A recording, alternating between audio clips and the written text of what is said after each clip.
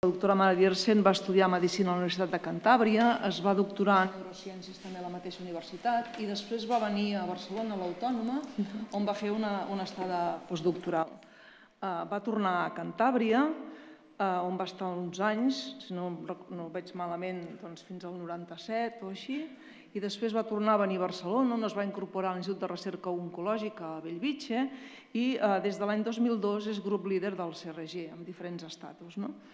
Eh, la veritat és que si un, si un busca a la web Mare Diersen troba tantes coses que és difícil al final posar-les totes aquí en un compendi que d'alguna manera ens donaran idea de la gran capacitat d'activitat que, que té. No?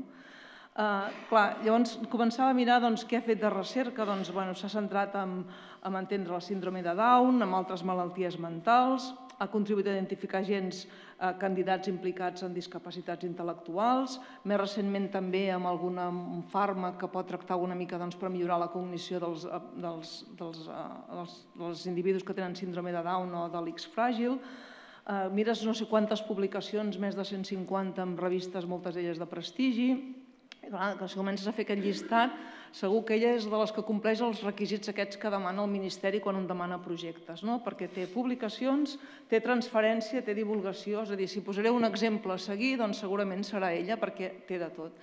I destaco això perquè realment eh, la seva capacitat o la seva activitat com a divulgadora científica és molt elevada, Potser molta gent que no coneix tant la seva recerca segur que haurà sentit eh, ella presentacions o trobarà, eh, trobarà moltes activitats en les quals ella divulga perquè tinc entès doncs, que és una de les activitats que creu que ha de fer com a científic, no? que és explicar a la gent el que es fa i per tant doncs, és una gran eh, divulgadora científica. També és membre presidenta de moltes societats, eh, bueno, és, és a dir, el seu currículum en aquest sentit és, és molt ampli. No? Però eh, hi ha una de les coses que també suposo que alguns de vosaltres sabeu, però que eh, jo trobo extremadament interessant, és que ell és cantant d'un grup.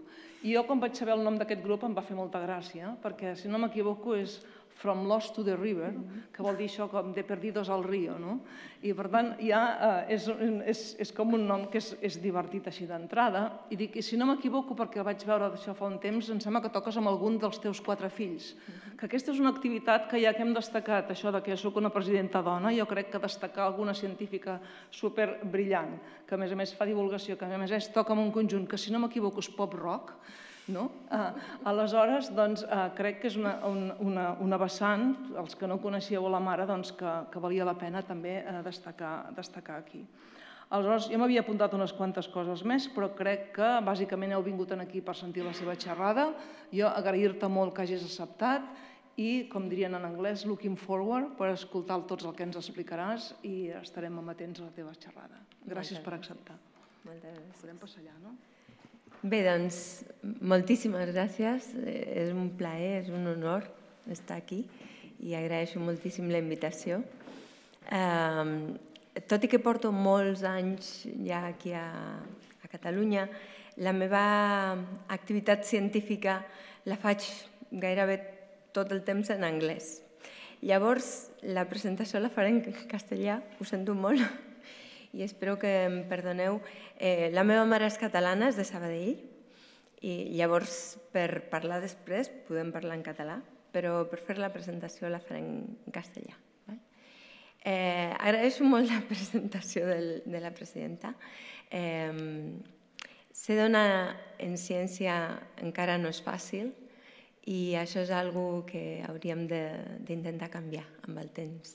I jo crec que, que donar visibilitat a les dones científiques és un, un dels reptes més importants que, que hem de tenir en compte en la nostra activitat, perquè la diversitat és innovació i la diferents vessants que, que podem tindre amb les nostres idees és el que ens farà anar cap endavant en la nostra investigació. Molt bé, doncs empezamos. I yo he titulado, he puesto este título, ¿no? Cinceles moleculares para esculpir el cerebro en la discapacidad intelectual, porque es eh, un poco nuestro, nuestro objetivo, es nuestro santo grial, si queréis, eh, lo que buscamos con nuestra investigación. Si yo esto lo hubiera puesto en un título de cualquier charla científica hace, no tanto, ¿eh? 5 o 10 años, la gente me hubiera mirado como diciendo, Venga, hombre. Pero eh, en los últimos años hemos conseguido que, al menos en parte, esto sea cierto. Hemos conseguido identificar mecanismos moleculares y celulares que pueden realmente convertirse en eh, dianas terapéuticas para cosas tan faltas de tratamiento como son eh, las enfermedades que cursan con discapacidad intelectual o con deterioro cognitivo, incluyendo no solamente la discapacidad intelectual, las enfermedades del neurodesarrollo, sino también las enfermedades neurodegenerativas. Como digo, desde hace muchos años, eh, yo soy neurobióloga, pero empecé en neurofarmacología y uno de los... Ay, Uno de los eh, grandes problemas que hemos vivido en los últimos años es precisamente el completo abandono de lo que es la psicofarmacología. En psicofarmacología, como en muchos otros ámbitos terapéuticos, desde hace mucho tiempo, hay muy poquitos descubrimientos que realmente permitan hablar de un cambio de paradigma y por ahora nuestras herramientas terapéuticas se basan en tratamientos sintomáticos. En el caso del sistema nervioso central, la mayor parte están dirigidos a modular la actividad de neurotransmisores, que básicamente lo que hacen es mejorar los síntomas de las enfermedades, pero no van dirigidos ni a las causas ni a los mecanismos patogenéticos de las mismas. Y eso es básicamente por falta de conocimiento. Eso aplica especialmente a patologías como el síndrome de Down. El síndrome de Down, como todos sabéis, se debe a la presencia de tres copias del cromosoma 21 y eso básicamente lo que quiere decir es que tenemos un desequilibrio global a nivel transcriptómico y tenemos un incremento en el número de copias de unos 200 genes que codifican para proteínas y 300 genes en, total. ¿no? Eso produce una serie de cambios a nivel cerebral que son relativamente reproducibles en todos los individuos. En el síndrome de Down, una de las cosas que nos preocupa más eh, como manejar es la tremenda variabilidad interindividual en estas personas. Es decir, el contexto genético en el que se produce la trisomía va a derivar en modificaciones fenotípicas que son a veces muy sustanciales entre las distintas personas. Y eso hace que, salvo la discapacidad intelectual, que también varía de grado de forma muy importante, eh, la mayor parte del resto de las afectaciones, de las comorbilidades, y luego si queréis podemos discutirlo un momento, eh, mm, tienen una prevalencia muy variable entre los diferentes individuos con síndrome de Down. Además, tenemos, eh, aparte de las afectaciones, la afectación cerebral es seguramente de las más consistentes, pero luego eh, en las personas con síndrome de Down se producen cosas como que tenemos comorbilidades, algunas de ellas directas, es decir, en estas personas hay un incremento en la prevalencia con respecto a la prevalencia de la población general de algunas enfermedades, como por ejemplo la enfermedad de Alzheimer, y ahí más o menos sabemos, bueno, está APP eh, en el cromosoma 21, por lo tanto el exceso de dosis de APP pues, puede llevar a la patología. Pero en cambio hay otras comorbilidades que son comorbilidades inversas. Tenemos menos prevalencia en síndrome Down que en la población general. Por ejemplo, los tumores sólidos. Seguramente tenemos factores protectores en el cromosoma 21, factores de protección y factores de susceptibilidad. Pero centrándonos en lo que es el fenotipo cerebral, es interesante ver que el cambio de dosis de esas 200 proteínas y 300 genes eh, que tenemos en el cromosoma 21, más o menos, produce cambios morfológicos tanto a nivel macroscópico como microscópico. A nivel macroscópico produce un cambio en la simetría cerebral, de forma que el eje anteroposterior se ve reducido, produciendo un fenotipo que llamamos braquicefalia. Eso conlleva una microcefalia, es decir, una reducción de tamaño cerebral que no afecta de manera igual a todas las regiones cerebrales. Entonces, regiones que están especialmente afectadas por esa reducción de tamaño son regiones tan importantes como el cerebelo, que, entre otras cosas, no solamente participa, como siempre se ha dicho de forma muy simplista, en coordinación motora, sino que todos los aprendizajes motores, todas las habilidades motrices, pero además cosas como la percepción del tiempo o determinados tipos de aprendizaje tienen una implicación del cerebelo. Además, tenemos regiones que están directamente implicadas en la codificación de información nueva, como son el hipocampo, que está significativamente reducido cuando lo comparamos con las personas euploides. Y otras regiones, como por ejemplo la corteza cerebral, están específicamente afectadas. Eso es interesante porque precisamente las regiones corticales, la corteza, el hipocampo, son regiones evolutivamente más modernas y que comparten una característica común que es su capacidad plástica.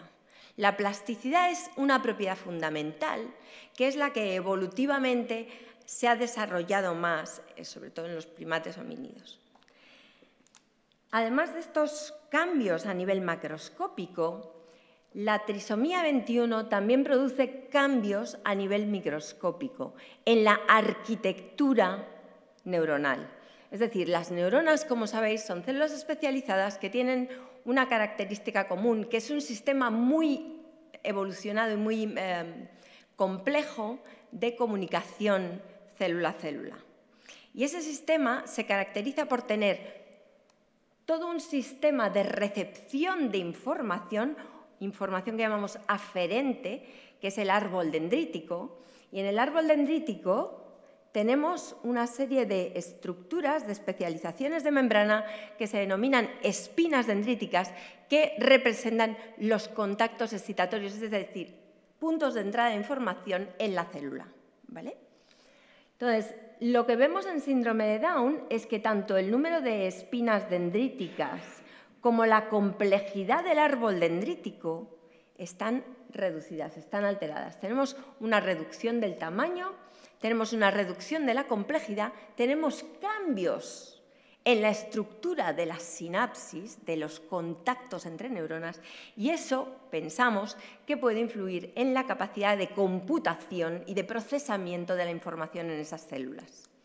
¿Vale? Eso no es únicamente característico del síndrome de Down. Lo que sabemos es que esa es una característica compartida por muchas otras enfermedades o muchos otros trastornos que afectan a las capacidades cognitivas. Entonces, lo vemos tanto en Fragile X, síndrome de Down, eh, síndrome de Red, síndromes del espectro autista, como en otro tipo de alteraciones que también tienen afectación cognitiva, como por ejemplo la esquizofrenia, o en enfermedades neurodegenerativas, como por ejemplo el Alzheimer. Entonces, evidentemente, si trazamos hacia atrás, nos vamos a encontrar con que hay una clara dependencia genética de esa forma de las dendritas y de las neuronas.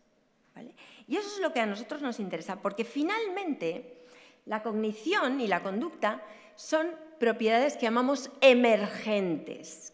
¿Qué quiero decir? Si nosotros nos dedicamos, como hemos hecho mucho tiempo, ¿eh?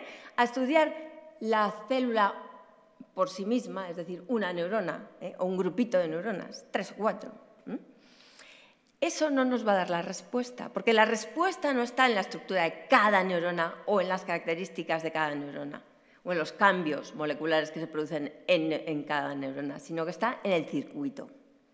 Entonces, lo que tenemos que intentar comprender son las propiedades de los circuitos neuronales subyacentes a esas propiedades de la función mental. ¿vale? De manera que ¿Qué quiero decir con esto de propiedad emergente? Seguro que todos más o menos os hacéis a la idea. Es una propiedad que no se puede explicar por las propiedades individuales de cada uno de los elementos que componen el sistema. Básicamente es esto, ¿vale? Entonces es un poco los que os gusta el fútbol, ¿verdad? Pues eh, si habéis ido a un estadio, pues habéis visto una ola, ¿no? Habéis visto una ola. Vamos a hacer una ola, venga, va. Que esto aumenta la neurogénesis, va muy bien. Entonces empezamos por ahí, levantamos los brazos, venga.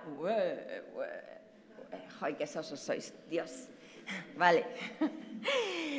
Bueno, esto que hemos hecho es una actividad oscilatoria, ¿sí? Y no depende de si tú vas de verde, aquella va de rosa o aquel va de rojo. Da igual, la actividad oscilatoria seguiría estando ahí presente. Pero sí que si todos fuerais muy bajitos, esa actividad oscilatoria tendría una configuración un tanto diferente. ¿sí? Esa es un poco la idea detrás. ¿eh? Entonces, ¿Qué pasa? Que las propiedades fundamentales que definen esa actividad, que producen esa propiedad emergente, dependen, por un lado, de la topología de los contactos neuronales. En el cerebro es como en la vida. Lo más importante son los contactos, dónde, cómo y con quién los hagas. Bueno, pues aquí lo mismo, ¿vale? Entonces, ¿qué sucede? Según cómo esté organizada en el espacio ese árbol dendrítico, ese sistema receptor de información, vamos a poder conectar con unas células sí o con otras no. Si yo estoy así, conecto con Albert. Si aquí hubiera alguien y yo estoy así, ¿eh? si, ella la presenta, contactaría con Monse y no con Albert. ¿vale? Según cómo esté configurado, yo voy a definir de quién recibo la información y también a quién la envío, sobre quién influyo. ¿De acuerdo? Entonces, comprender cómo ese diseño arquitectural en la neurona influye en la conectividad del sistema es una de las preguntas fundamentales que nos tenemos que hacer. Porque nosotros con nuestras intervenciones, una de las cosas que vamos a cambiar a través de una propiedad que se llama, como decíamos antes, la plasticidad, es precisamente esa topología. Esa topología lo que influye finalmente es en la actividad bioeléctrica del sistema. El sistema, eh, en, en, el cerebro, los sistemas se comunican mediante un lenguaje electroquímico. Entonces, la actividad bioeléctrica, sobre todo la actividad bioeléctrica de redes, es lo que finalmente nosotros realmente podemos conectar con las funciones cognitivas. Entonces, es lo que medimos, por ejemplo, con un electroencefalógrafo o mediante diferentes técnicas que nos permiten entrar en lo que son las zonas activas del cerebro, técnicas de neuroimagen, básicamente.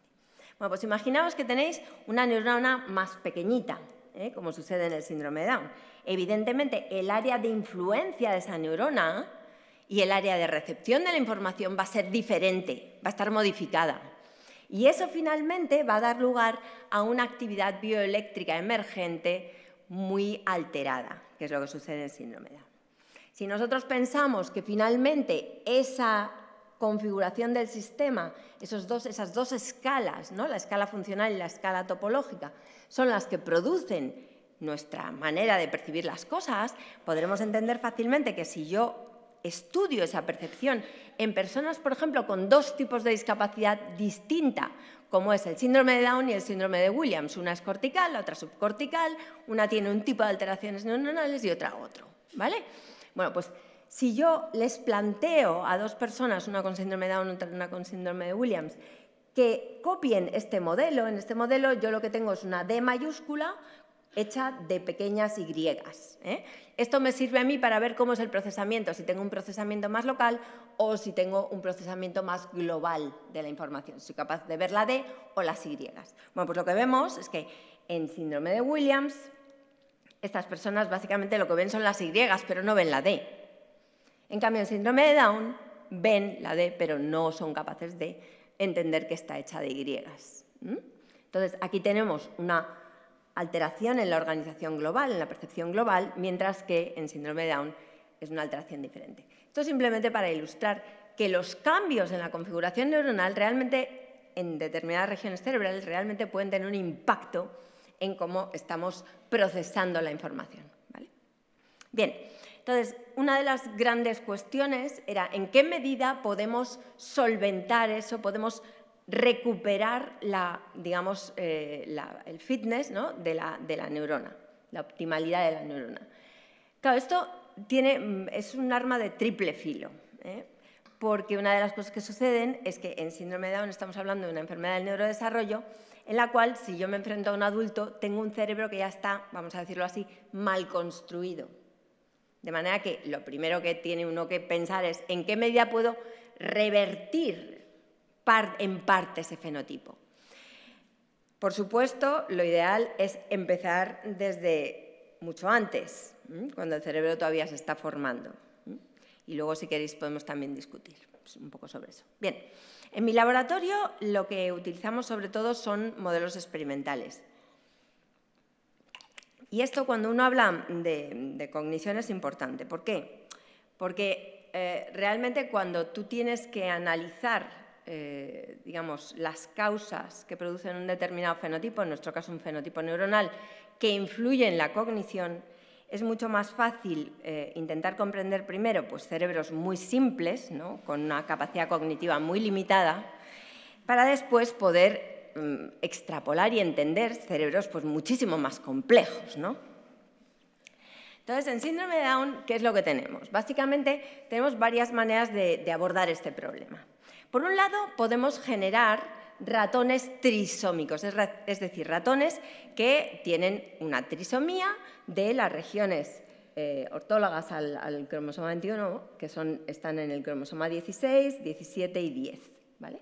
Y en este momento tenemos un montón de trisomías completas, parciales, trisomías que son exactamente, eh, o sea, remedan exactamente la trisomía 21, etc.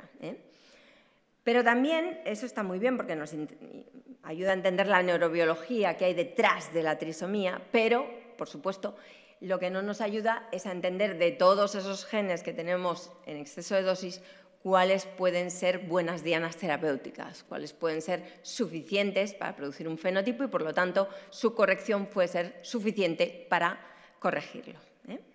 Entonces, para eso, pues básicamente lo que se hace es generar transgénicos que solamente sobreexpresan un gen candidato en un contexto disómico. Ya está.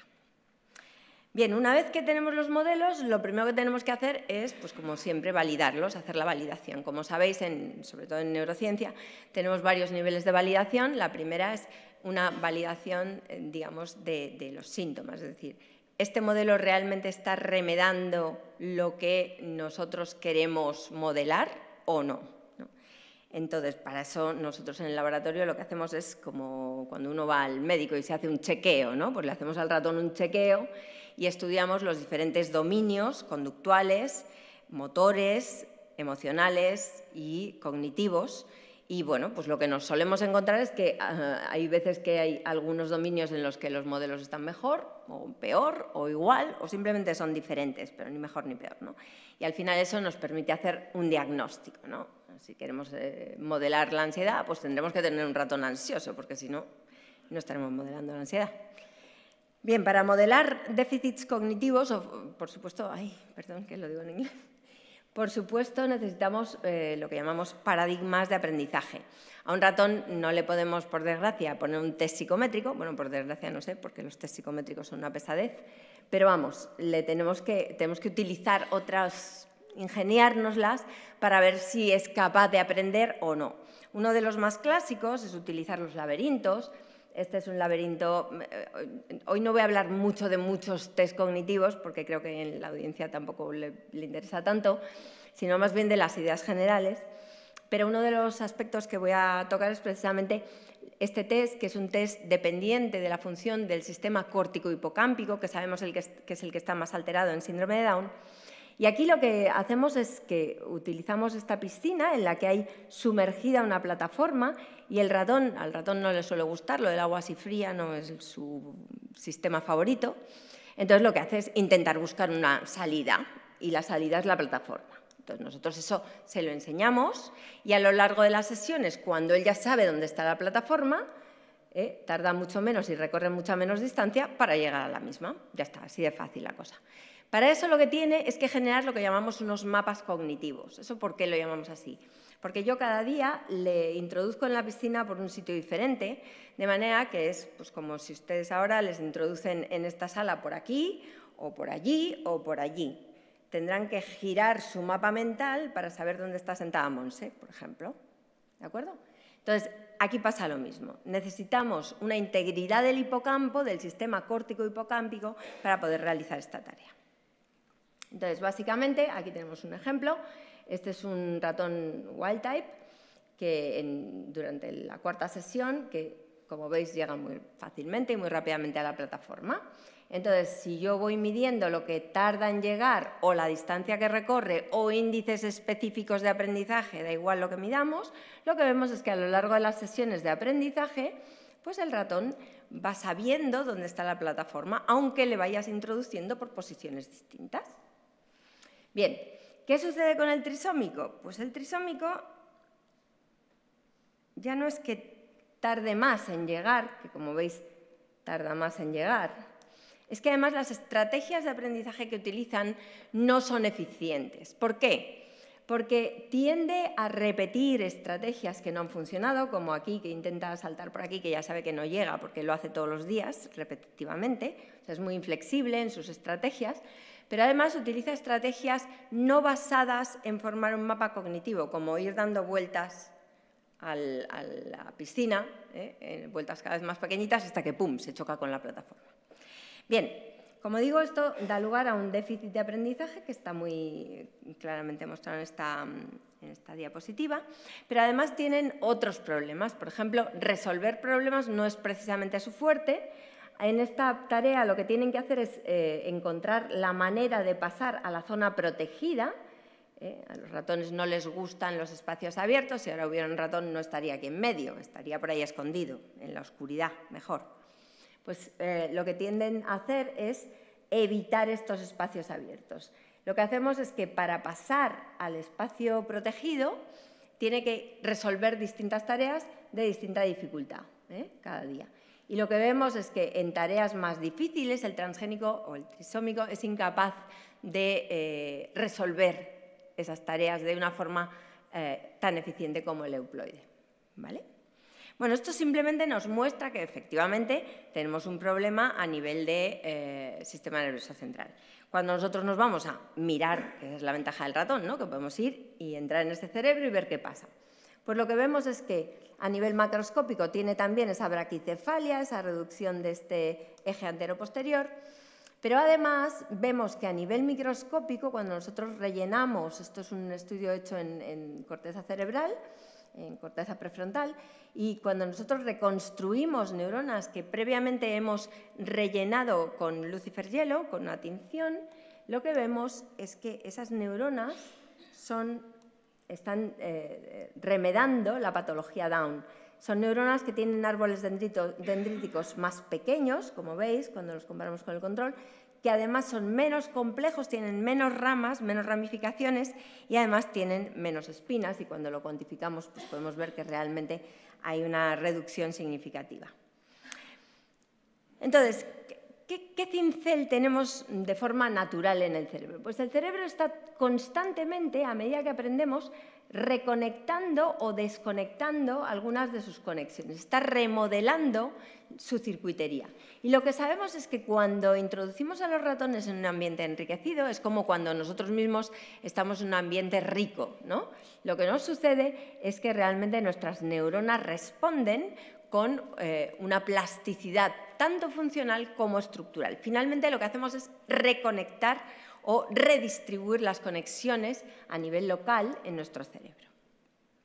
Pues lo que hicimos fue, en nuestro ratón trisómico, ensayamos cuál era el impacto del enriquecimiento ambiental en este ratón. La idea era que parte del fenotipo a lo mejor no era solo producto de un mal desarrollo, sino también era producto de un déficit en la plasticidad neuronal.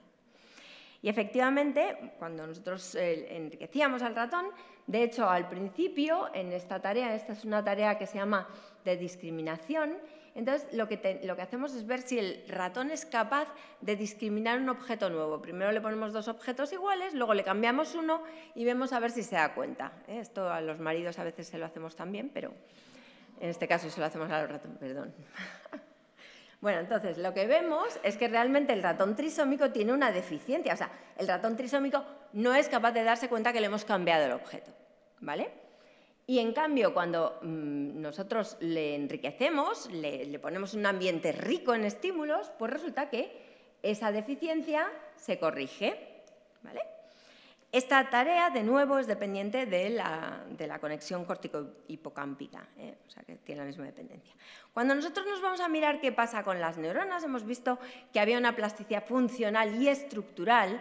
La plasticidad estructural está ahí en el ratón control, ¿eh? tenemos un incremento de hasta un 40% de espinas, y esto es un experimento que hacemos a los cuatro meses, es decir, no es solo que en el momento le haga efecto el enriquecimiento ambiental, sino que eso lo retiene y es más listo el resto del tiempo.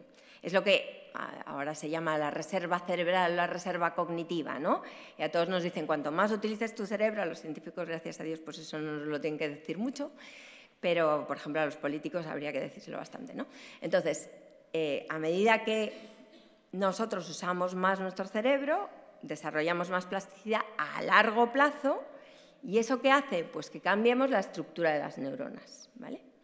Entonces, eso es la reserva cerebral. Bueno, pues lo que vemos es que en el, en el wild type aumentan casi un 40% el número de espinas, pero el trisómico no tiene ese aumento. Y entonces lo que vemos es que realmente el efecto beneficioso del enriquecimiento ambiental con el tiempo se pierde. ¿Por qué? Porque la posible plasticidad funcional que permitía que rescatáramos el fenotipo cognitivo, con el tiempo no es capaz de traducirse en un cambio estructural.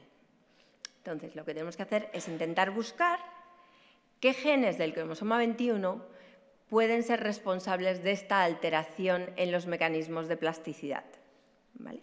Y esa fue un poco la, idea con la que empezamos pues, a analizar diferentes eh, genes, a sobreexpresar en, ratones transgénicos diferentes genes. Algunos de ellos que ya sabíamos que eran importantes para la plasticidad. Vaya. Bueno, entonces, de todos esos genes, el más prometedor es este, es DIRC1A, Dual Specificity Tyrosine Phosphorylation Regulated Kinase. Esta, mm, esta quinasa, eh, cuando se sobreexpresó en Drosophila, se vio un fenotipo que fue muy interesante, que fue una microcefalia, fue una reducción sobre todo en los lóbulos centrales de la drosófila, que se acompañaba de una alteración del aprendizaje olfatorio. Entonces, eso es interesante porque es un fenotipo que después, cuando miras en el resto de las especies, realmente eh, ves fenotipos muy parecidos. Y además es dosis sensible. Tanto la falta de DIRC1A o la reducción de DIRC1A, la heterocigosis de DIRC1A, como el exceso de DIRC1A, produce efectos similares en las diferentes especies en las que se ha ensayado por ahora. Por ejemplo, en el humano, la reducción de la dosis, es decir, eh, microdelecciones que afectan a la región donde está eh, DIRC1A, producen una microcefalia y un fenotipo de discapacidad intelectual y autismo. ¿vale? Y entonces lo que, lo que vemos es que en el ratón, por ejemplo, pasa lo mismo. Tanto el exceso de dosis como la reducción de dosis de DIRC1A da lugar a un fenotipo muy similar al que vemos en el humano. Bien, DIRC1 es interesante porque muchos de sus targets, son, muchos de sus sustratos son eh, sustratos importantes bien para plasticidad, para neurodesarrollo o para enfermedades neurodegenerativas. DIRC1A, por ejemplo, entre otras cosas, fosforila tau y fosforila BP. ¿eh? Bien, ¿y qué vemos? Pues que la sobreexpresión en el ratón, el exceso de copias en el ratón de DIRC1A, produce un fenotipo muy similar al que vemos en el ratón trisómico, tanto a nivel de la estructura neuronal como a nivel del aprendizaje. Produce déficits similares en pruebas similares y de hecho eso lo que nos lleva es a la conclusión de que DIRC1A es suficiente para producir esos fenotipos que son de interés para nosotros. En esta imagen os muestro algo similar, esto, que os acabo de mostrar es a nivel de la corteza cerebral y esto es a nivel del hipocampo. Eh, aquí lo que hemos hecho es un truco genético, aquí lo que tenemos es eh, un cruce entre el transgénico de DIRC1A y un transgénico que expresa la proteína fluorescente amarilla solamente en neuronas piramidales porque la hemos puesto bajo el promotor de TAI, TAI1. Entonces, eh, lo que vemos es el stratum radiatum, esto es el hipocampo, la capa piramidal y el stratum radiatum, o sea, las dendritas de las neuronas eh, de un euploide. Y como veis, en el transgénico lo que tenemos son dendritas más desorganizadas, más cortas y además tienen menos espinas dendríticas. Todo eso está muy bien, pero por ahora en realidad mm, yo lo que os he enseñado es una cosa correlativa. ¿no? Realmente vemos que pasan las dos cosas, pero yo todavía no he podido demostrar la causalidad entre una y la otra. ¿no? Y realmente eso es complicado. Entonces nosotros lo que estamos haciendo por ahora es hacernos la pregunta de en qué medida la configuración la arquitectura neuronal en el síndrome de Down es o no es óptima. Entonces, ¿en qué nos basamos? Pues en los principios de optimización de Ramón y Cajal. Es decir, la idea es que las dendritas optimizan su conectividad haciendo que eh, haya una mm, minimización entre el, el tiempo de conducción y el gasto biológico que supone desarrollar el árbol dendrítico suficiente para favorecer ese tiempo de conducción. De manera que el coste tiene que ser el mínimo para una conducción óptima de la información. Entonces, lo primero que hicimos, claro, ¿cómo defines una neurona óptima? Si nos hemos dedicado toda la vida a mirar un trocito así del hipocampo y 10 neuronas. Y si no, ¿me creéis? Mirad en los papers. Bueno, pues lo primero que tienes que hacer es eh, eh, intentar ser cuantitativo en, tu, colección de datos. Entonces, lo que hicimos con, Linus, que ahora es postdoc en mi laboratorio, aunque ahora creo que se va a ir a China, pero bueno, por ahora sigue con nosotros, eh, fue intentar entender la, variabilidad en las configuraciones de las neuronas piramidales en diferentes estructuras neuronales, fundamentalmente en el hipocampo y en la corteza cerebral, y además intentar entender en qué medida esa variabilidad era una variabilidad, digamos, eh, no patológica o patológica. Intentar ver dónde estaba la frontera entre ambas situaciones. Y a partir de esas eh, estadísticas, de esos valores estadísticos de población neuronal, lo que intentamos también fue, eh, con las reconstrucciones de neurona única, desarrollar o, diverger una serie de nuevas medidas que nos permitieran extraer conclusiones acerca de la topología del sistema. Por ejemplo, la eficacia en llevar la información, en dirigir la información hacia el soma, o la capacidad de identificar patrones distintos de información y el coste que supondría el crear ese árbol dendrítico. ¿no? Eh, bien. entonces mm, lo que hicimos básicamente fue comparar diferentes modelos, es decir, teníamos diferentes eh, cepas, control, en las que podíamos determinar un poco la variabilidad no patológica y teníamos también nuestros modelos. Y a partir de ahí podemos extraer una serie de, medidas y esas medidas podemos eh, utilizarlas para parametrizar un modelo in silico, un modelo computacional. Este modelo lo que hace, lo que hacemos es generar árboles dendríticos sintéticos eh, mediante una herramienta eh, que está disponible aquí en Tristoolbox, por si a alguien le interesa, y generar un modelo que nos permita definir un espacio de eficiencia en el que podamos identificar las situaciones eh, sanas y las situaciones patológicas a nivel de la microarquitectura del árbol dendrítico. Lo bueno de esto es que nosotros ahora podemos jugar con las diferentes medidas en nuestros árboles sintéticos, ¿vale? Y podemos ver cómo afectan a la eficiencia y a la topología del sistema. Entonces, por ejemplo, una de las cosas que vimos es que la densidad de espinas dendríticas eh, se eh, relaciona con la eficiencia de routing de forma lineal. Mientras que, por ejemplo, el, cambio en la densidad de las ramas dendríticas tiene una relación asintótica con la capacidad de storage, ¿no? de almacenamiento. ¿vale? Y así fuimos jugando, fuimos modificando las distintas medidas que nosotros habíamos tomado para definir lo que llamamos unos unas configuraciones, el set de configuraciones óptimas, ¿eh? que eso definiría un frente de Pareto en el cual nosotros podemos definir pues, todas estas configuraciones óptimas basándonos en las medidas que tenemos, la densidad de, las ramas dendríticas, eh, la medida del árbol o la tortuosidad de las ramas. Entonces, cuando nosotros mm, sobre estos eh, pareto frentes, de pareto, eh, pintamos dónde están nuestras neuronas, los controles están más o menos sobre los frentes de pareto, mientras que las situaciones patológicas se apartan mucho de la situación óptima. Es decir, de alguna manera podemos decir que las neuronas tanto trisómicas como transgénicas son subóptimas en esta configuración.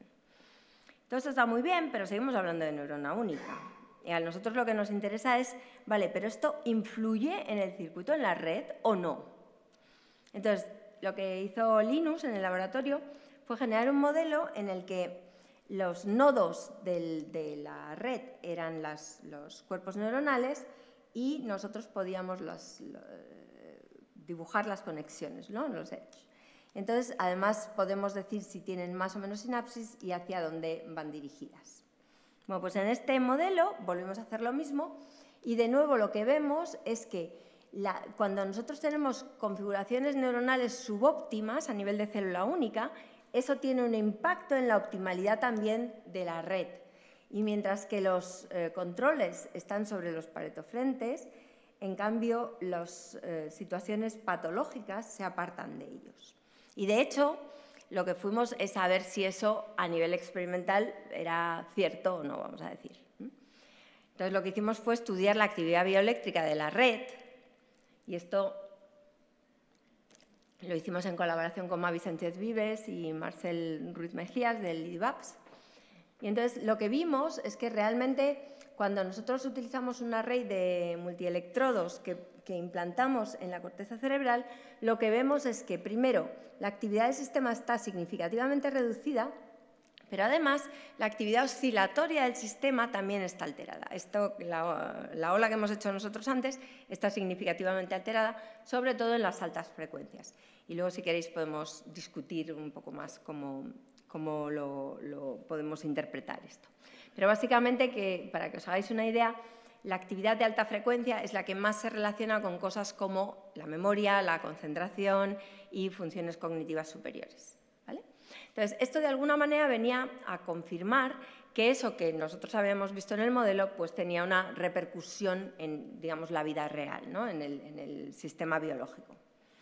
Bien, entonces, por ahora básicamente lo que hemos visto es que en los ratones con modelo de síndrome de Down hay una afectación de neurona única que tiene un impacto sobre el circuito. Básicamente eso es lo que os he contado hasta ahora y eso creemos que influye en, la cognición. Uno de los candidatos posibles es DIRC1, es esta quinasa, entonces eso nos abre una oportunidad para utilizarlo como diana terapéutica para poder reconectar ese circuito. Y de hecho, una de las posibilidades era normalizar el exceso de dosis de, de DIRC1A. Y esto lo hicimos mediante diferentes técnicas. Este fue un eh, experimento que se hizo con Cristina Fillat en el DIVAPS, en el cual lo que hicimos fue usar short hairpins contra DIRC1A y básicamente lo que vemos eh, cuando eh, nos fijamos en el short hairpin es que se normaliza eh, la, dosis de DIRC1A, aquí lo tenéis.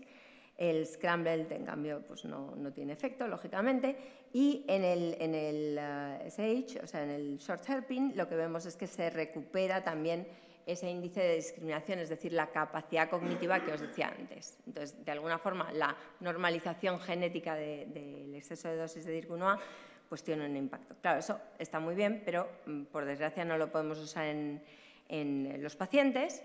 Pero surgió un inhibidor de la actividad DIRC1A, de la actividad quinasa de DIRC1A, que es un componente del té verde, que un polifenol, pero vamos, la molécula es la epigalocatequina 3-galato, eh, y básicamente lo que se vio es que eh, mm, ese polifenol rescataba los defectos producidos por el exceso de, dosis de DIRC1A.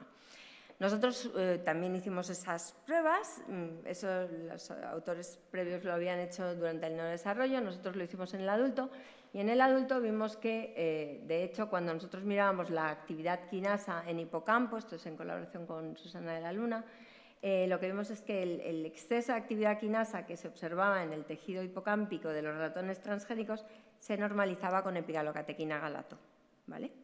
O sea, que funcionaba a nivel central, ¿vale? entonces, cuando nosotros hacíamos las pruebas de reconocimiento de discriminación de objeto nuevo, de nuevo conseguíamos revertir el fenotipo, o sea, que parecía que funcionaba, pero lo más interesante fue cuando miramos qué sucedía con la alteración a nivel neuromorfológico. Y como veis, tras un mes de tratamiento con epigalocatequina, tenemos una remodelación de los defectos dendríticos del transgénico. Lo dejo así un poco para que digáis, oh, porque nosotros fue lo que dijimos, un jolín, qué barbaridad. Entonces, produjimos un remodelado muy extenso eh, que además afectaba incluso el volumen de la estructura. ¿vale? De manera que básicamente mm, lo que vemos es que la suboptimalidad de ese árbol dendrítico trisómico la podemos corregir mediante tratamientos procognitivos basados en la normalización de DIRC1A. ¿Por qué? Bueno, pues parte de lo que hicimos para entender por qué fue intentar entender qué pasaba a nivel del proteoma y del fosfoproteoma. Entonces, lo que vimos cuando estudiamos las alteraciones que producía el exceso de dosis de DIRC1 en el proteoma fue que muchas de las eh, proteínas diferencialmente abundantes eh, eran compartidas por otros eh, trastornos de discapacidad intelectual, es decir, tocaba muchas proteínas importantes en discapacidad intelectual en general. Además, lo que vimos es que muchas de ellas tenían que ver con cosas como plasticidad, como remodelación dendrítica, plasticidad sináptica estructural, eh, y eso nos hizo mm, sugerir que DIRC1A seguramente es un, hub en, cascadas moleculares relacionadas con la reorganización sináptica. Y de hecho aquí tenéis representadas varias ¿eh? las categorías. Bueno, cuando uno se va al cultivo celular, esto es un cultivo primario, y mira cómo eso impacta realmente en los fenotipos que estamos mirando, lo que vemos es que realmente la neurita wild type crece muy bien, la neurita transgénica casi no crece, le cuesta mucho crecer y de hecho la distancia recorrida por la neurita al final es mucho más corta en el transgénico que en el wild type. Y eso tiene que ver con una falta de movimientos de elongación y retracción del cono axónico y del crecimiento neurítico, de la neurita. Y eso lo pudimos relacionar, tal como ya sugería nuestros datos de proteoma, con la afectación de eh, la localización y de la, expresión de proteínas relacionadas con eh, el citoesqueleto como la tubulina o como la actina. Entonces, lo que vemos básicamente es que la fracción mm, de microtúbulos está menos expandida y no se integra eh, en, el cono de crecimiento axónico. Y eso hace que impida su interacción con actina y es lo que pensamos que puede ser parte de la causa del fenotipo. Eh, obviamente esto sigue en curso y estamos ahora mirando las modificaciones posttraslacionales de, tubulina también a ver qué impacto tienen. Por supuesto, si tenemos una alteración a ese nivel, eh, lo siguiente que tenemos que ver, y lo hacemos clareando los cerebros, este es un cerebro eh, tratado con técnicas de clareo, entonces aquí tenemos eh, básicamente mm, neuronas genéticamente tagueadas con, con YFP, y entonces lo que básicamente podemos ver es la estructura mm, a nivel mesoscópico y microscópico y eh, podemos determinar también la conectividad de largo rango. ¿Eh? Bueno, ahora estamos haciendo todo el mapa de conexiones de ese, estilo. Lo interesante también es que cuando volvemos a hacer los eh, estudios de qué es lo que conseguimos corregir con los tratamientos y comparamos enriquecimiento ambiental, epigalocatequina y el tratamiento combinado, lo que vemos es que hay, de hecho, muchos targets comunes y aquí lo tenéis también representado. Y eh, de hecho hay muchas cosas que se corrigen por igual y muchas de ellas son dianas de, fosforilación de DIRC. Como me queda poquito tiempo, voy a ir un poquito rápido en estas tres últimas diapos. Claro, cuando uno tiene resultados mm, que están, son interesantes en el ratón y además tiene un producto que es fácilmente trasladable, porque en teoría es un nutracéutico, ni siquiera tiene la categoría de, fármaco, ¿no? Como es la epigalocatequina, eh, pues mm, nos proporciona una oportunidad de no tardar pues, esos 75 años en hacer el, traspaso a la clínica. ¿no? Y, eso fue lo que nosotros intentamos hacer. Por supuesto, tiene todos sus problemas porque, como sabéis, eh, la cultura de los clínicos en el laboratorio y la de los básicos en, en la clínica pues son a veces mundos muy opuestos, ¿no? Y nos cuesta hacer el, salto del uno a la, otra. Pero bueno, nosotros encontramos eh, nuestro agujero de gusano que he puesto arriba. Mm, sabéis lo que es un agujero de gusano, ¿no? Te permite hacer un viaje en el tiempo y el espacio. Bueno, pues eh, fue lo que intentamos hacer y eso lo hicimos gracias a, estas dos personas, sobre todo a Rafa de la Torre, que es eh, el, el director del Departamento de Neurociencias en el IMIM, y Maggi Farré también, que fue al que le fuimos a pedir eh, cómo hacíamos el protocolo ético para hacer el ensayo clínico y nos dijo, ven para acá, anda, siéntate un rato. que yo te explico. Bueno, pues gracias a ellos dos conseguimos eh, hacer un primer ensayo clínico de seguridad en adultos. O sea, la idea es siempre la misma. Primero compruebas en adulto que sea un tratamiento seguro, que no tenga efectos secundarios. Luego puedes mirar a ver si es eficaz. Y finalmente ya puedes ir pues, a lo que finalmente nosotros queríamos ir, que es a población pediátrica. ¿no?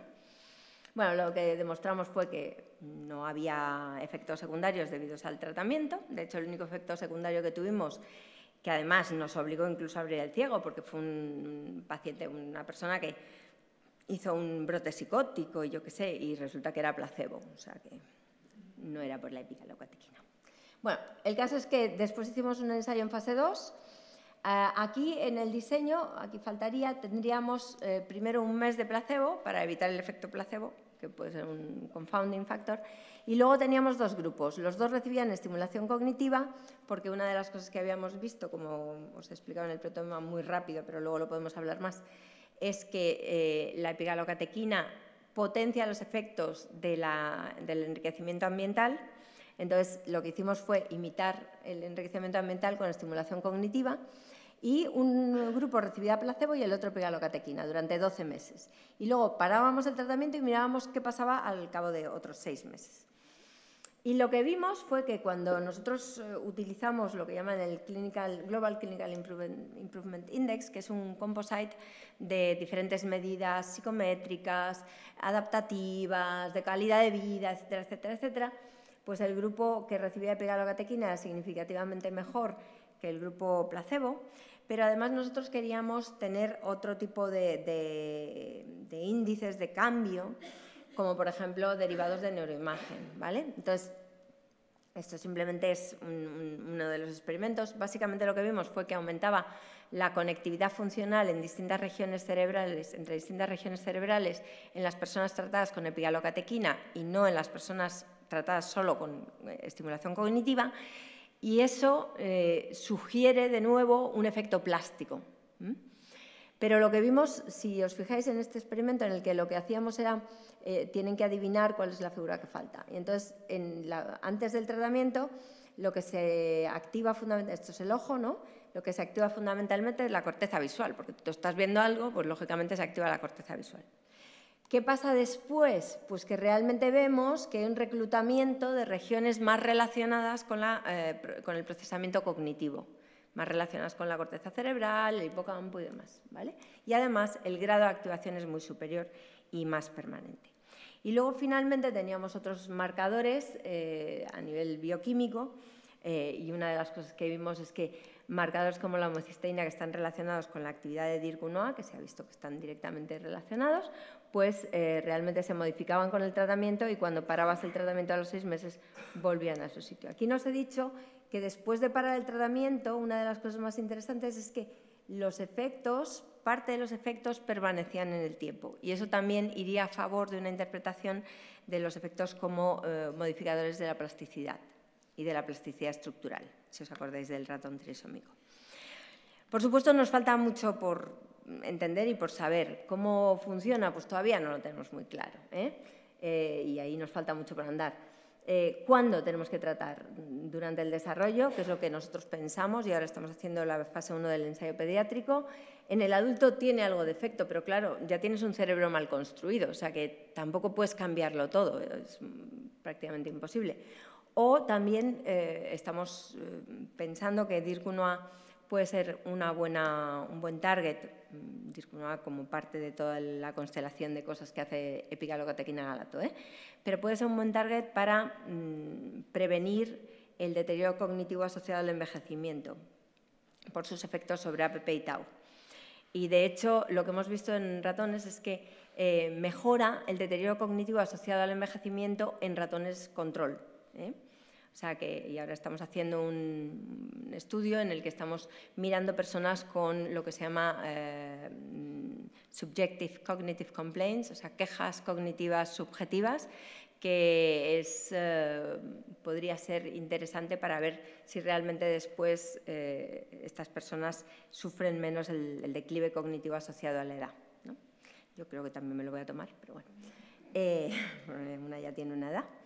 Bien, total, que en conclusión de, todos estos estudios, pues básicamente lo que hemos visto es que eh, la remodelación cognitiva mediante herramientas como, los fármacos que normalizan DIRCO1A en síndrome de Down es capaz de revertir los eh, síntomas cognitivos y también las alteraciones del árbol dendrítico, eh, produciendo una situación de, optimalidad en el circuito, que eso seguramente se explica por el papel de DIRC eh, como hub en, cascadas moleculares que tienen que ver con plasticidad sináptica, y además el hecho de que toque tantas proteínas que están afectadas en otros eh, trastornos que cursan con discapacidad intelectual, nos ha hecho eh, ir a probarlo en pacientes con frágil X porque encontramos muchos targets comunes y de hecho mm, hemos visto que también tiene efectos sobre, sobre estas personas. Aquí hemos tenido que ajustar la dosis porque lo que no queremos es reducir demasiado la actividad quinasa de DIRC1A, pero aún así eh, hemos visto efectos positivos en esta población. Y quizá mm, me gustaría trasladar una conclusión un poco mm, final, si queréis. Claro, nosotros estamos trabajando con algo que siempre eh, se nos ha criticado mucho porque no es específico. Y yo comprendo, ¿eh? a los humanos nos gusta, para poder entenderlo bien, mejor que sea muy específico porque así yo entiendo lo que estoy tocando. En el fondo lo entiendo igual de poco que si estoy mm, utilizando algo que toca muchas cosas francamente os lo digo, porque yo creo que toco una molécula y al final toco un montón de cosas cuando hago el proteoma y eso ya lo sabemos qué pasa. Pero sí que creo que quizá tenemos que empezar a plantearnos un cambio en el paradigma, un cambio en cómo estamos eh, planteándonos, sobre todo cuando tratamos de ir a la clínica, nuestras estrategias. Y durante mucho tiempo nos hemos basado en tratamientos básicamente sintomáticos. Yo quito el síntoma y ya está. En el Alzheimer, ¿qué dábamos? Bueno, pues acetilcolinesterasa, para que la poca acetilcolina que haya ¿no? todavía funcione y tal. Y sí, hombre, algo funciona, pero eh, el sistema sigue degenerando. Y eso no lo paramos dando acetilcolina, no, ni dando un inhibidor del, catabolizador, o sea, no. Entonces la idea yo creo que poco a poco está siendo ir más, pasar de esas eh, pastillas mágicas, ¿no? los magic bullets, eh, que si me permitís la licencia poética, demuestran un poco que durante mucho tiempo mm, hemos tenido un dominio de un pensamiento muy homogéneo en farmacología y en neurociencias en general. Em, y, es, y, es, el pensar que las cosas se pueden arreglar con una pastilla. ¿eh? Y eso no funciona así. Y yo quiero pensar que eh, el que haya cada vez más mujeres que somos mucho más, conectamos todo con todo y no sé qué, ¿no? Eh, pues quieras que no, nos ha llevado a esa otra visión más de farmacología de sistemas, que yo creo que al final es la que nos va a permitir, en lugar de tocar moléculas concretas, empezar a pensar en mecanismos que tenemos que modificar. Entonces, en lugar de con perdón de los chicos, disparar al receptor ¿no? con lo más potente que pueda y de la forma con la mayor puntería, ¿no? más específico y más potente. Ese ha sido el mantra de toda la industria farmacéutica que se ha dedicado a la neurociencia durante miles de años. miles no, pero quiero decir, un montón de tiempo. ¿no? Entonces, en lugar de eso, vamos a empezar a pensar más en eh, targets más amplios, más inespecíficos, que seguramente son más difíciles de entender. So what? Si funcionan, ya luego los entenderemos. Pero eh, yo creo que es importante empezar a, pensar eh, en, la biología de sistemas como una herramienta que nos va a permitir comprender la complejidad o al menos acercar, no comprenderla seguramente no, pero al menos acercarnos un poco más a su comprensión.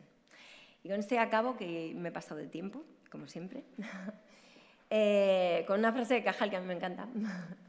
Tengo muchas de él que me encantan pero él dice una cosa que me gusta mucho, que yo siempre se la digo a mis eh, PhD students, a mis estudiantes de doctorado. Las ideas no duran mucho, hay que hacer algo con ellas. Y creo que refleja un poco ese espíritu, si queréis, traslacional un poco de, de nuestro laboratorio. Con esto y agradeciendo pues, tanto a mi laboratorio como a nuestros colaboradores y como a los que nos han financiado, pues os doy las gracias a vosotros por la atención.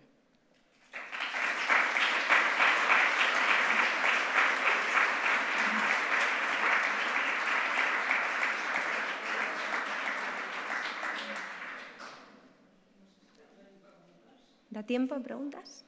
¿Sí?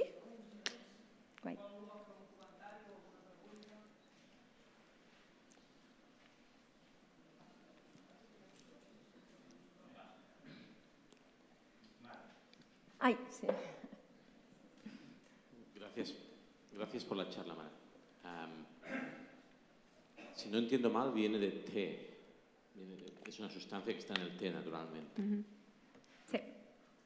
Países donde se toma mucho té, Ajá. ¿cómo tenemos la incidencia de todas estas cosas? Hay- muchos factores que confunden, obviamente, ¿no? Porque toman mucho té, pero igual toman otra cosa que, que también les afecta, ¿no? Sí. Pero veis una correlación de todas estas cosas. A ver, hay pocos estudios epidemiológicos hechos. Yo siempre digo que tenemos que estudiar más a los japoneses. A ver qué tal. Pero lo que sí que es eh, cierto eh, es que la, dosis que tenemos de, que dar de pigalocatequina es bastante superior a la que normalmente se toma mm, en forma de té. Luego hay otro tema y es que los extractos del té eh, no siempre tienen la misma concentración y de hecho eso nos ha vuelto locos durante mucho tiempo porque hasta que hemos encontrado a alguien que nos lo sintetizara y tuviera tuviéramos un preparado con el 95% de pigalocatequina, que es justo lo que permiten antes de considerarlo fármaco, pues ha sido complicado, porque los extractos, unos tienen 45%, otros tienen 25%, otros tienen 49%, otros, y además en cada batch te encuentras con que tienes cosas distintas. Con lo cual, ni siquiera, y ahora hemos hecho un estudio abierto, observacional, porque hay mucha gente que ya está empezando a, dar mm, epigalocatequina a sus hijos, ¿no? extractos de té. Pero claro, es que no puedes comparar nada, porque unos están tomando una dosis que ni siquiera saben muy bien qué dosis es, porque van cambiando de preparado, van, otros se toman, yo qué sé, eh, dosis mucho más altas o mucho más bajas, y es súper complicado eh, establecer un, un threshold. Luego, aparte, la biodisponibilidad de este compuesto mm, también es bastante variable. Nosotros tuvimos que hacer varios estudios en voluntarios para ver cómo podíamos ajustar el, el tema de la dosis y controlar los niveles. Pero sí, tenemos que estudiar a los japoneses.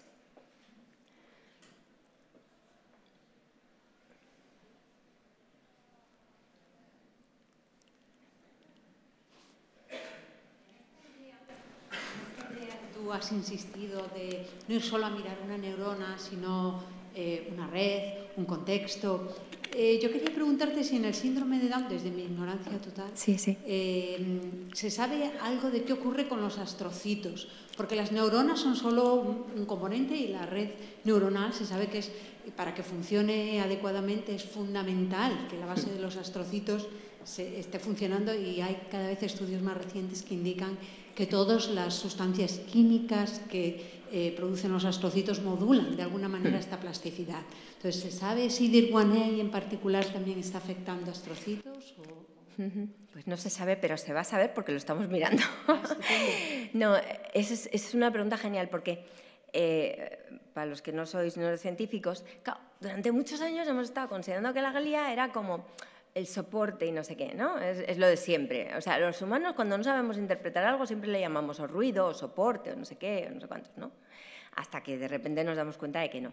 Y lo que ha pasado con los astrocitos es que ha sido genial, porque lo que se ha descubierto es que de hecho modulan la transmisión de la información precisamente por esa regulación que hacen del espacio sináptico, de la, del, digamos, la dotación química del espacio sináptico. Entonces, eh, nosotros estamos, DIRC1A se expresa en astrocitos, y no solo eso, sino que además hace que se produzca un cierto grado de astrocitosis por su influencia en el neurodesarrollo, ¿no? en la división asimétrica de, de los neuroblastos.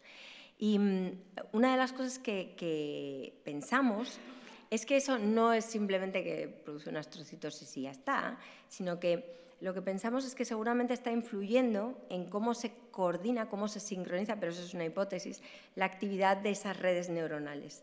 Porque en realidad un astrocito lo que hace es eh, influir sobre los contactos sinápticos no de una, sino de un grupo de neuronas. Y bueno, y eso tiene unas derivadas interesantísimas que no voy a contar porque es un rollo, pero que si te interesan las podemos eh, hablar luego, porque una de las cosas que nosotros pensamos es que seguramente en, en, el contexto de lo que ahora se está defendiendo, que es la teoría del engrama, ¿no? de que hay subpoblaciones concretas que se activan de neuronas para digamos, eh, recordar o para almacenar un recuerdo. Y eso te permite tener como diferentes eh, grupos de neuronas que están recordando cosas distintas, y eso lo llaman el engrama. ¿no? Entonces, nosotros lo que pensamos es que seguramente el astrocito tiene una influencia fundamental en definir esas subpoblaciones. Y al final tiene una influencia fundamental en definir cómo vas a almacenar cada uno de esos recuerdos, ¿sabes? Pero bueno, tendremos que demostrarlo. La siguiente charla ya. Part dels efectes aquests en els paràmetres cognitius, eh, sí. aquest tractament eh, té algun impacte en els altres fenotips que estan associats com mobilitat? Per exemple, tu has dit que els ratolins, o no, els ratolins no, el síndrome de Down sí. eh, oferia resistència als tumors sòlids. Sí. Eh, el, eh, no sé si en els ratolins això ho pogut estudiar o no, però en general, si hi ha algun efecte, heu vist algun efecte fenotípic associat a... Sí, de hecho eh, es una pregunta muy buena porque DIRC1A no solamente está expresado en el sistema nervioso central, sino que está expresado en diferentes tejidos periféricos. Una de las cosas que vemos es, eh, tumores sólidos no lo hemos mirado, la verdad, pero hay grupos trabajando en, ese tema. ¿eh? en el caso de DIRC, lo que hemos visto es que hay un fenotipo a nivel pancreático, y de hecho parece que está relacionado con las alteraciones metabólicas que tienen estos ratones y estos, estas personas, ¿no? y que básicamente mm, se correlacionan con el fenotipo de obesidad. Y una de las cosas que vemos es que revertimos eh, las alteraciones en la, en la, masa de células beta en el, hipocampo, en el hipocampo, digo yo, en el páncreas, estoy yo bueno. Y luego tenemos eh, también efectos a otros niveles, tenemos efectos a nivel hepático, por ejemplo, que también son, en realidad son de mejoría del, fenotipo de base que tenemos. Pero bueno, están muy relacionadas con los sitios donde se expresa DIRCUNA. Pero, ¿ves? Esa es otra de las cosas que a mí me parece muy, muy importante que empecemos también a tener en cuenta y es que, mm, salvo que tú tengas un fármaco que solamente actúe de forma eh, muy selectiva en, un tejido o en un órgano, eh, vas a tener efectos sobre el resto. Bueno, eso ya lo sabemos con la mayor parte de los fármacos, ¿no?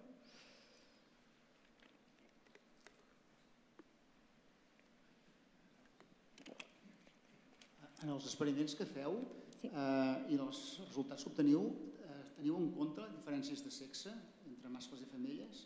I l'altra cosa és, eh, aquest, el DIRC1, aquest, està relacionat o està modulat pels que de neuroestrògens al cervell? Sí. Eh, a ver, el tema mm, de los estrógenos mm, todavía no lo, no lo tenemos muy claro, no lo sabemos seguro. Eh, eso no lo estamos mirando nosotros, lo está mirando un laboratorio, unos colaboradores en Estados Unidos. Eh, lo que sí que está claro es que el fenotipo Down no es igual en chicos que en chicas y sobre todo eso se relaciona más que nada con el fenotipo neurodegenerativo. Es decir, las hembras mm, trisómicas están en la cepa esta de ratón trisómico, están protegidas, están más protegidas frente a los efectos de la neurodegeneración que los machos. Nosotros vemos primero diferentes fenotipos en, hembras y en machos en ratón, pero es que luego cuando haces eh, el tipaje neuropsicológico, incluso en neuroimagen hemos visto diferencias entre mujeres y hombres, también ves las diferencias. Entonces, no es unos son mejores y otros son peores, no. Son diferentes, es decir, los dominios que están afectados son diferentes. Lo que pasa es que como hay tantos modificadores, es complicado, porque, por ejemplo, otra de las cosas que hemos visto es que variantes genéticas que, vienen, que tienen que ver con la disponibilidad de dopamina en corteza también influyen en, el fenotipo cognitivo. Entonces, claro, es complicado. O sea, ahora lo que estamos intentando es mm, hacer un, eh, estudio de estos mm, multiescala para intentar correlacionar las diferentes variables y ver si extraemos algún tipo de conclusión.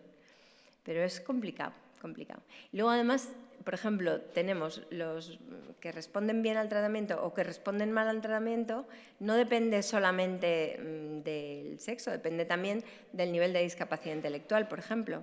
Entonces hay una cross dependency entre ambas variables, más luego pues, todos estos otros factores. Y eso es interesante, es importante porque uno de los eh, grandes problemas que tenemos en, en discapacidad intelectual es que los ensayos clínicos muchas veces no funcionan en humano. Y dices, pues ¿cómo ha funcionado? Es que el ratón no vale, no es un buen readout. No, es que luego en humano las cosas son mucho más complicadas.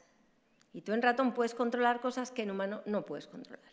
Y seguramente lo que tenemos es que cambiar eh, el state of the art y, buscar eh, primary outcomes, perdón, pero es que no me salen las palabras en castellano tú, el CRG, solo hablamos en inglés y claro. No, pero los, los outcomes ¿no? que tenemos, o sea, los, los del tratamiento, tenemos que replantearlos. Porque si no, lo que estamos es perdiendo oportunidades al final. acaba de pasar con eh, los agonistas inversos del receptor eh, GABA, de la subunidad de alfa-5, que eran muy prometedores y yo creo que tenía todo el sentido que lo fueran, y de hecho en ratón funcionaron fenomenal, y al pasarlos al ensayo clínico no han funcionado y hemos cerrado esa puerta. ¿Qué pasa? que yo creo que es un error, porque es que si tú ves cómo han diseñado ese ensayo clínico, es un desastre. Entonces, claro, al final estamos perdiendo, cerrándonos puertas y perdiendo oportunidades simplemente porque seguramente tenemos que cambiar un poco el mindset. Y entre otras cosas tenemos que introducir en, las, en la variable final todos estos elementos que sabemos que intervienen, ¿no?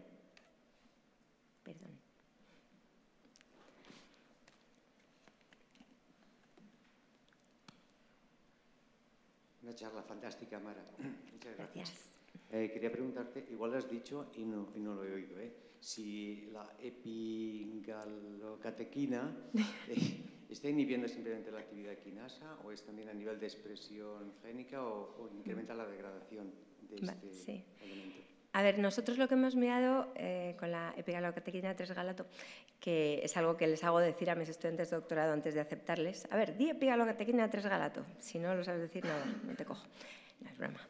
Eh, lo hemos mirado a nivel de expresión y a nivel de actividad quinasa. A nivel de expresión no vemos cambios, pero cuando nosotros miramos lo que hace el enriquecimiento ambiental, resulta que el enriquecimiento ambiental reduce tanto la actividad quinasa como la expresión. ¿vale? Entonces, seguramente parte de las diferencias que estamos viendo entre los dos tratamientos eh, se deban a eso, a que en un caso estamos afectando esos dos niveles, mientras que en el otro es más específico de actividad quinasa. La degradación no lo sé, porque no lo hemos mirado, pero es un punto importante que tenemos que mirar, efectivamente. Gracias. A ti. Jo crec que ho hem de deixar aquí perquè s'ha fet tard. Vale. Et voldríem agrair realment molt francament aquesta xerrada, eh, interessantíssima, didàctica i fantàstica. I a més ha posat de manifest el que us he comentat abans, no? que era una persona que jo llegia abans, no m'he deixat totes les coses al final i deia uh, bueno, uh, entusiasta, vital, i jo crec que ha sigut una, una xerrada fantàstica també en aquest sentit. Segur que ens hem estat tots molt desperts, no només perquè hem començat fent la ona, sinó per tota, tota la xerrada. Aleshores, um, nosaltres et volem fer un petit obsequi bueno. i uh, és, un, és un detall que no cal que l'obris, però com a agraïment... Uh, i, Ve a venir sempre a les I, i també...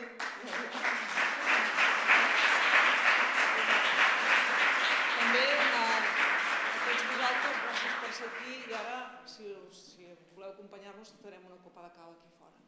Gràcies.